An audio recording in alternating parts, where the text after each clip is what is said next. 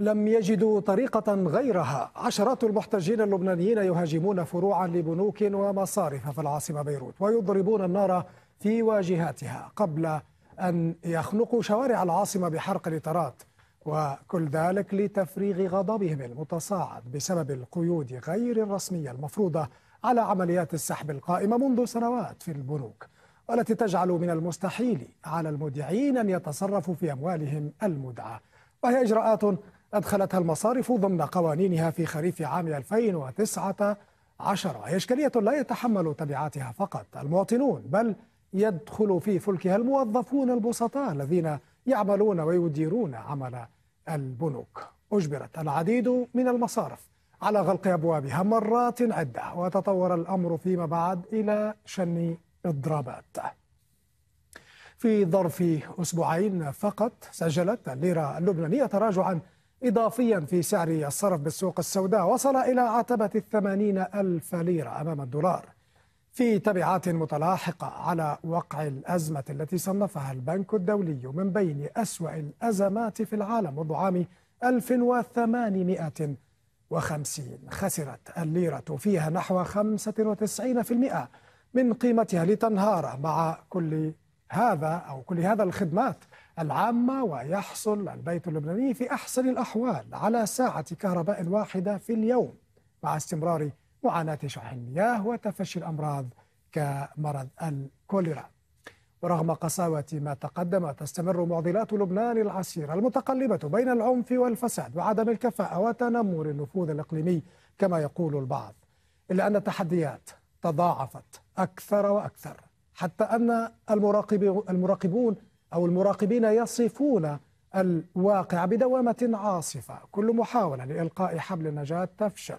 والنخبة من السياسيين وقادة الأحزاب والطوائف يكتفون بالإشارة إلى موضع الألم دون وصف العلاج وهم المستثنون على الدوام من أي تبعات ترتبط بخطط الإصلاح ومكافحة التدهور يقول لبنانيون كثر. إذا في هذه الحلقة من للخبر بقي نتساءل إلى أين تسير الأوضاع؟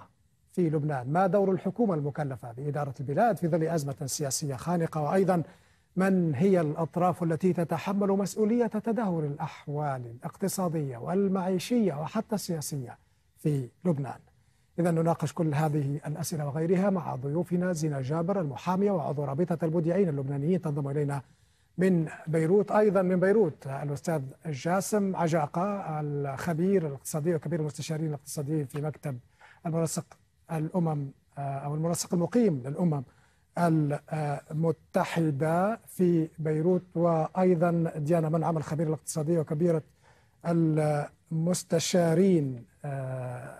أستاذ الدكتور جاسم عجاقة عفوا أستاذ الاقتصاد في الجامعة اللبنانية والأستاذة ديانا منعم الخبيرة الاقتصادية وكبيرة المستشارين الاقتصاديين في مكتب المنسق المقيم للأمم المتحدة في بيروت. أرحب بكم جميعا وأبدأ معك سيدة زينة جابر أنتم في رابطة المودعين. بالنسبة لكم ما هي أسباب هذا الارتفاع الجنوني بسعر صرف الدولار؟ يصل 80 ألفا ربما قد يصل إلى المئة ألف ليرة.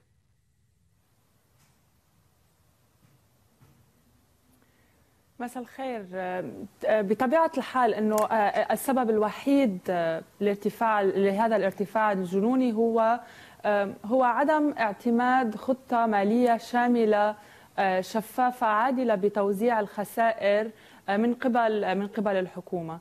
إن إن الحل لهذه الأزمة ولتجنب كل ما يحدث اليوم من ارتفاع بسعر الصرف من إضراب للمصارف من الاحتجاجات التي نراها اليوم في الشارع.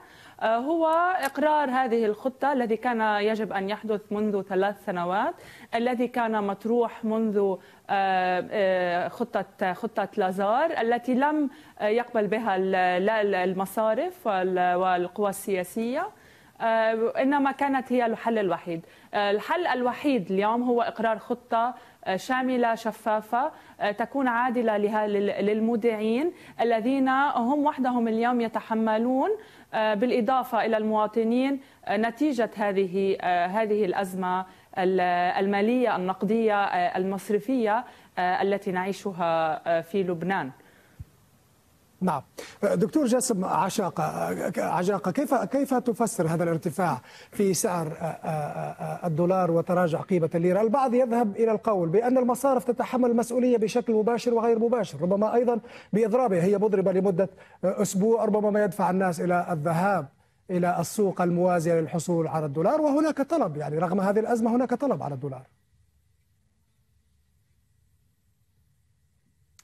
تحية لك سيدي الكريم ولضيوفك وللمشاهدين وأنا أشكرك على هذه الدعوة الكريمة. آه، سيدي الكريم آه، هناك آه، يعني فرضيتين أساسيتين في ارتفاع سعر صرف الدولار. الفرضية الأولى تتبنى تجمع عاملين.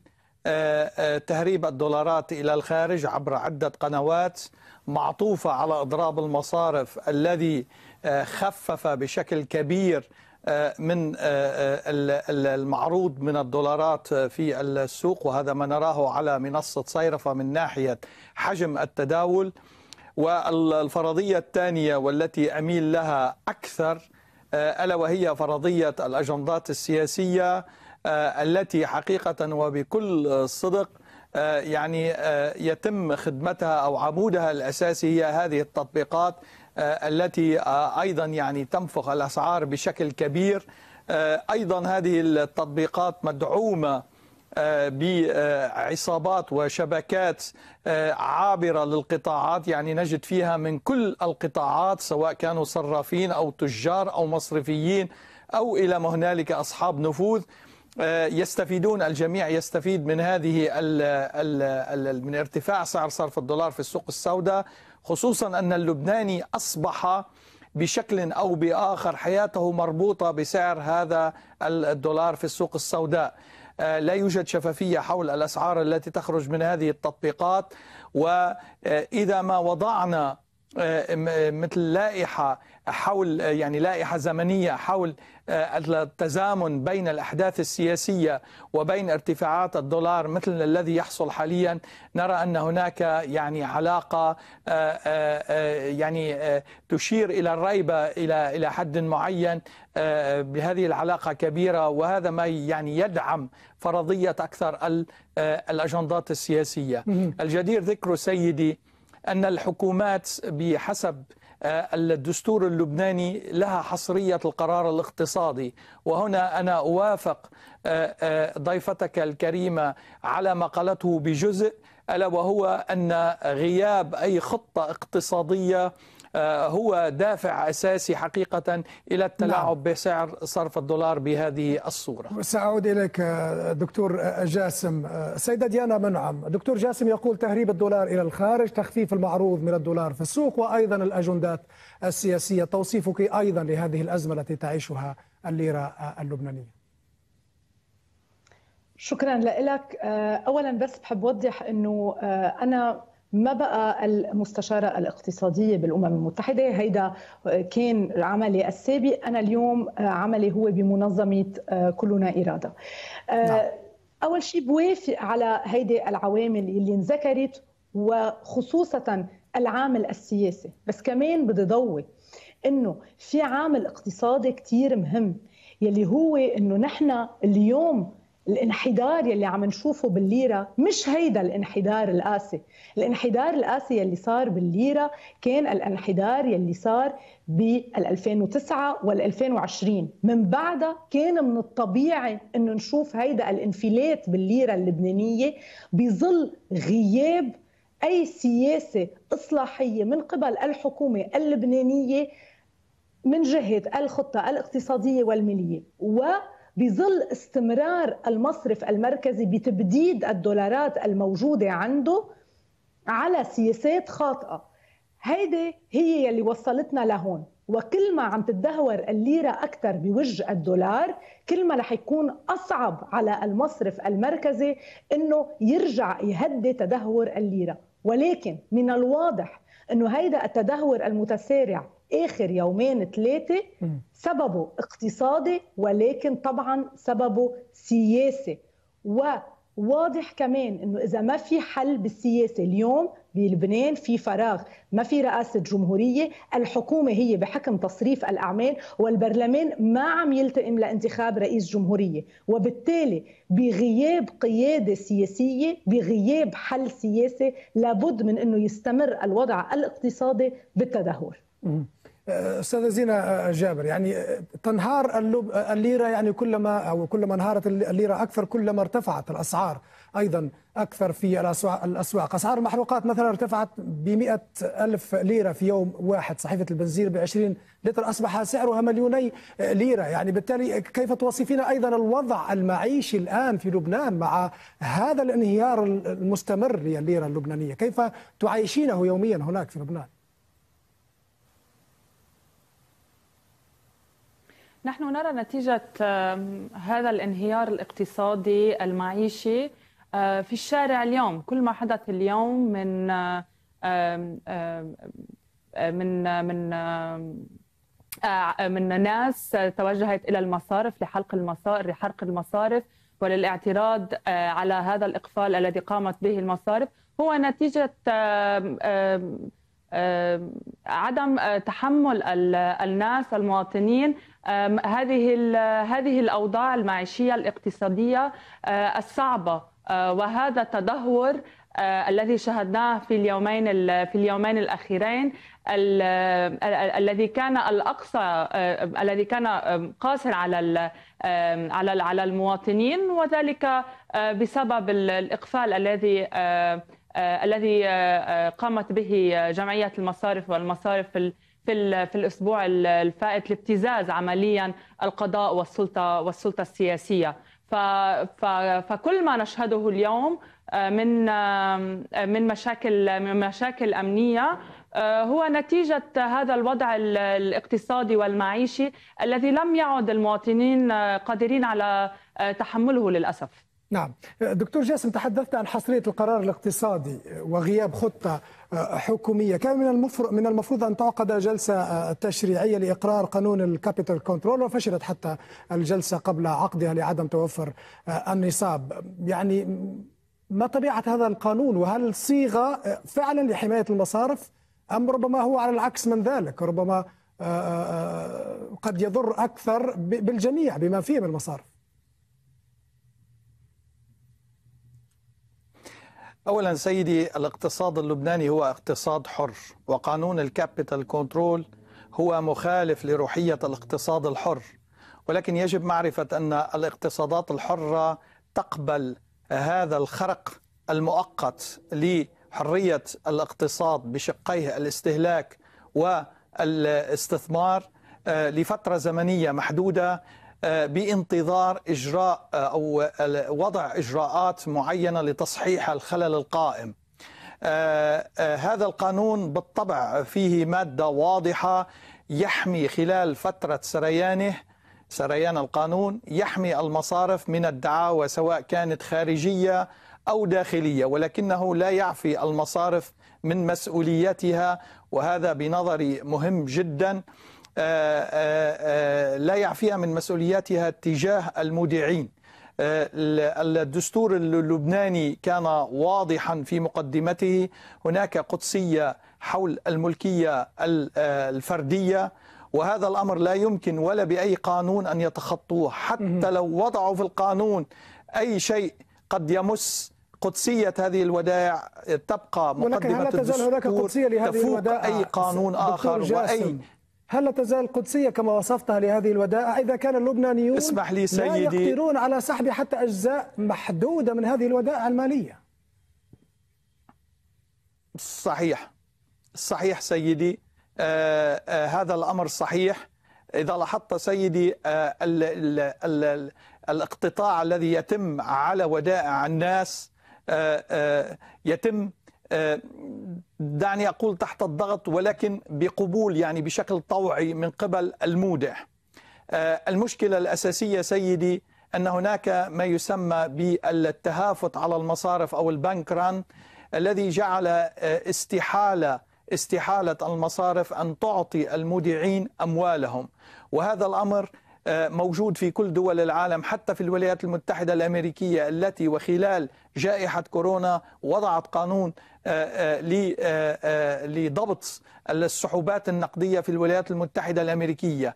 لذلك هناك استحالة وأنا أستغرب يعني حتى في خطة الرئيس حكومة الرئيس حسان دياب وحتى في خطة حكومة الرئيس نجيب ميقاتي أستغرب كيف أن الحكومة تعد برد الودائع. هذا الأمر شبه مستحيل بحكم أن القطاع المصرفي مبني على ما يسمى بال credit multiplier وهذا الأمر يجعل نسبة الودائع كبيرة نسبة نعم. إلى حجم الكاش الموجود أو النقد الموجود م. لذلك هذا الأمر يفرض على الحكومة استعادة الثقة لتوفير السيولة وتأمين 10 إلى 15% من قيمة الودائع لتسيير أوضاع الناس. حجز الأموال هو مخالف للقانون وهذا لا نكران فيه.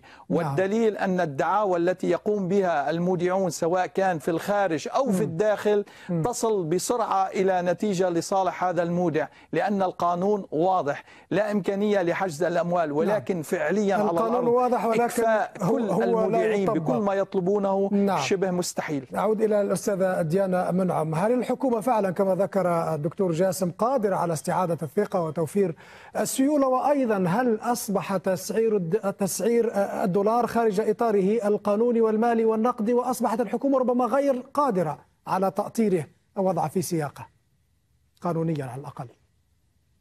خلينا نوضح السلطة السياسية المتبسلة مش بس بالحكومة ولكن بالأحزاب السياسية الأساسية بالبلد وبالسلطة المالية. يعني حكمية مصرف لبنان وبعض المصارف الكبرى هي يلي عم ترفض أي حل. السؤال هو مش إذا قادرة أو مش قادرة. السؤال هو إذا بدها. وواضح إنه هيدي السلطة رافضة أي إصلاح. ثانيا عبارة قدسية الودائع هي هرطقة. نحن اليوم أمام مشكل بلبنان. في عنا فجوة مالية بقيمة 72 مليار دولار. قاموا السياسيين بلبنان. قالوا للناس بال 2019 ما تقبلوا بالحلول يلي عم تنطرح عليكم لأنه هيدي الحلول بتحتم على أنه أنتم تخسروا جزء من اموالكم واموالكم مقدسة. وتحت هيدا الشعار وبالتذرع بقدسية الودائع رفضت الطبقة السياسية اللبنانية أي حل ممكن يكون عادل للبنانيين. وتحت هيدا الشعار عم بتخسر المودعين وديعهم يوم بعد يوم. اليوم قيمة الهيركت اللي عم يتعرض لها المودع بلبنان بتوصل ل 88% فأي خطة أقرت قبل 2019 2020 2021 لو أقرت أي خطة إصلاحية قبل كان ممكن للمودعين إنه يسترجعوا قيمة كثير أكبر من ودايعهم وبالتالي كذبت قدسية الودايع استعملت حتى الطبقة السياسية تتجنب أي حل. ليش الطبقة السياسية ما بدها أي حل؟ بكل بساطة لأنه أي إصلاح بيعني إنه هالسياسيين لازم يتحملوا مسؤولية القرارات يلي اخذوها بآخر 20 سنة وهيدا الشيء ما بدهم اياه نعم. هلأ إذا بدك جاوبك على موضوع تسعير الدولار م. يلي هو بالعكس هو هو حضرتك عم تحكي عن منصة صيرفة صحيح؟ تفضلي. إيه نعم. أو عم تحكي عن تعدد أسعار الصرف. نعم. أوكي. تعدد أسعار الصرف. طبعا اليوم كمان هيدي السلطة السياسية كان لازم تقوم بعشر إصلاحات أساسية من وقت ما مضيت الاتفاق الأولي على مستوى الموظفين مع صندوق النقد من عدة أشهر. ولكن هيدا الشيء ما حصل. وبالتالي بما إنه هيدا الشيء ما حصل منا قادرة اليوم هيدي السلطة السياسية إنها توحد أسعار الصرف بطريقة منطقية وممنهجة. وبالتالي يلي عم تلجأ له هو تعدد أسعار الصرف يلي هو سياسة الترقيع يلي هي السلطة صار لها من 2019 عم تنتهجها. هيدي سياسة تعدد أسعار الصرف منا سياسة مستدامة. الهدف منا بس هي إرضاء بعض شرائح المجتمع ومحاولة نعم. ميلة ثانية لاستيفاء الموارد خصوصي الضرائب بسعر شوي يبقى أعلى سؤال أيضا مطروح أستاذة ديانا هل توجد سلطة سياسية أيضا قادرة على القيام بهذه الإصلاحات؟ لا رئيس للجمهورية لا رئيس لحكومة مستقرة قادرة على القيام بأعمالها بشكل كامل. أعود إلى الأستاذة زينة جابر. هل هي مسألة إرادة للإصلاح؟ معروفة. نعم. هل هي مسألة إرادة للإصلاح كما تقول الأستاذة ديانا؟ برأيك.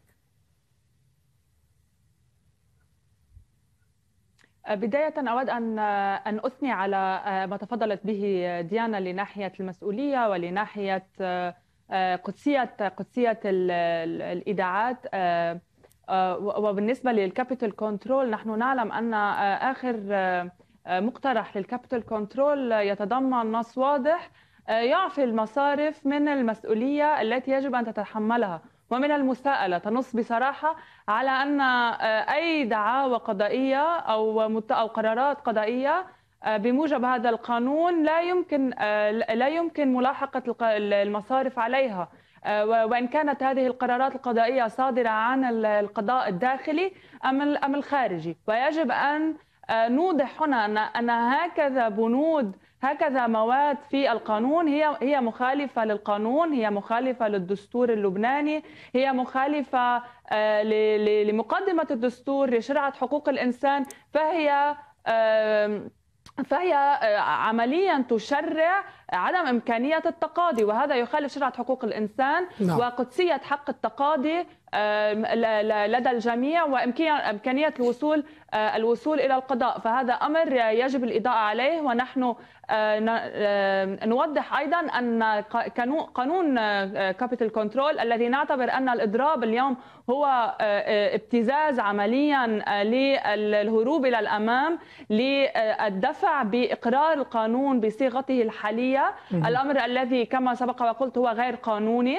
كان يجب أن أن يقر في بداية خلال بداية الأزمة عندما كان ما زال هنالك أموال فريش كاش يتم تحويلها إلى الخارج اليوم بعدما قامت المصارف والسلطة السياسية المتواطئة مع المصارف بتهريب أموالها إلى الخارج بعد أن أمنت عمليا على على أموالها في الخارج تقول نحن مستعدين لإقرار نعم. قانون capital طيب. control المصارف اليوم بما المصرف المركزي عمليا يقوم بال يقوم ب capital control على نعم. دعيني أعود إلى الدكتور على الايداعات جاسر دكتور جاسر عندما يقول وزير الاقتصاد بأن الحكومة ستسعى إلى دولرة المعاملات التجارية وحتى البضائع في المحلات وفي السوبر ماركت وغيره ماذا يعني ذلك بالنسبة للبنانيين؟ وماذا يعني ذلك بالنسبة لليرة اللبنانية؟ وكأنه لا مستقبل لها هنا إذا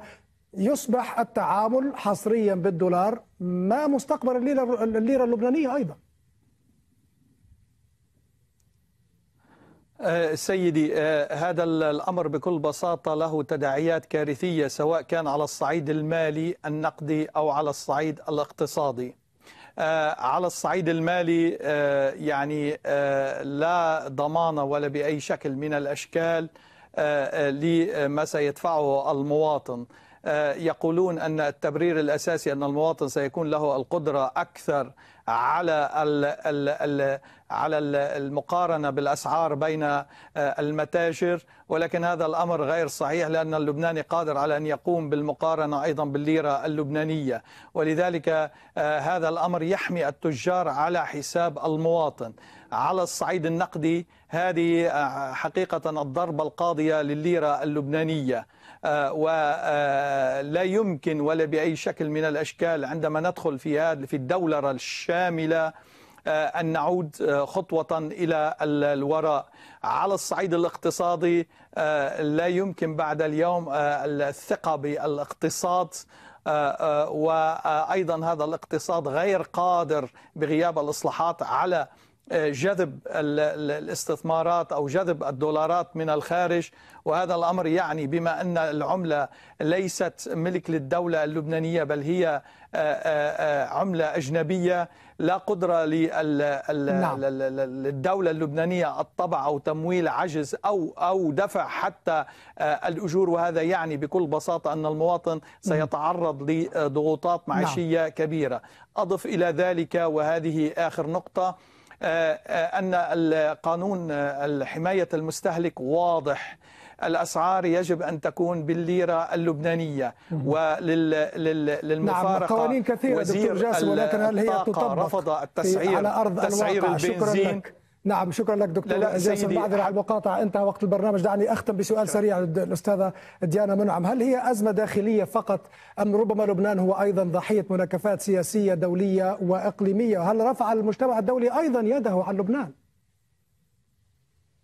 لبنان بلد صغير وبالتالي طبعا بيتأثر كمان بمحيط بمحيطه على كل حال مثل أغلب البلدان. آه، ولكن الواضح إنه الحل اليوم هو بدايته حل داخلي. اليوم الحلول التقنية على الأقل معروفة. المشكلة هي أنه في عندك طبقة سياسية هي اليوم اخذ المجتمع رهينة وهي ما بدها تطبق الإصلاحات. ونعم للأسف المجتمع الدولي اليوم غير مهتم بلبنان منلاحظ في بعض الاهتمام الفرنسي اهتمام أمريكي أقل شوي واهتمام عربي ضئيل جدا في محاولة لأنه السعودية تصير مهتمة أكثر في بعض في بعض الافرقاء بالمجتمع الدولي عم بيحاولوا إنه تصير السعودية مهتمة أكثر ولكن نعم واضح نعم. إنه في عدم اهتمام دولي والسبب هو إنه الطبقة السياسية اللبنانية مرارا وتكرارا نعم. كذبت وماطلت شكرا. واليوم في نوع من تعب من المجتمع الدولي تجاه لبنان. نعم. شكرا شكرا شكرا جزيلا لك ديانا. منعم الخبيره الاقتصاديه والناشطة في منظمة كلنا إرادة زينة جابر المحاميه وعضو رابطة المذيعين اللبنانيين والدكتور جاسم عجاقة أستاذ الاقتصاد في الجامعة اللبنانية. شكرا جزيلا لكم. الشكر أيضا لمشاهدينا الكرام.